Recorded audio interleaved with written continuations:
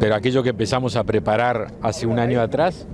tuvo efectos bien importantes en, este, este verano, esta temporada,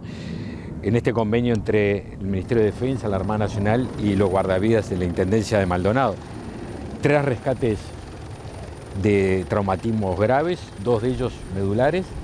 de personas que si no hubieran tenido este dispositivo que empezamos a trabajar un año antes, hoy seguramente su situación era muy compleja y están perfectamente bien. Porque allí cuando tuvieron el, evento, el accidente, hubo un guardavidas que diagnosticó adecuadamente de acuerdo a lo que se había trabajado y hubo una coordinación con el equipo de salud y un helicóptero que inmediatamente logró trasladar en, muy breves minutos una persona a un centro de, de salud. Así que funcionó aquello para lo que se trabajó, que trabajaron dos instituciones del Estado. Y agrego una cifra también no menor. Hoy tenemos 210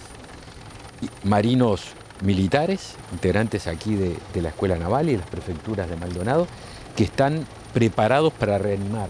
que han hecho cursos de RCP, que dieron los guardavidas, así que son 210 uruguayos que en su vida particular, transitando por sus ciudades, por sus barrios, si hay algún evento, saben qué hacer y salvarle la vida a un uruguayo. Así que quiero destacar lo bueno que es que dos instituciones del Estado trabajen sinérgicamente en comunidad para brindar a la sociedad un mejor servicio y para brindar más seguridad.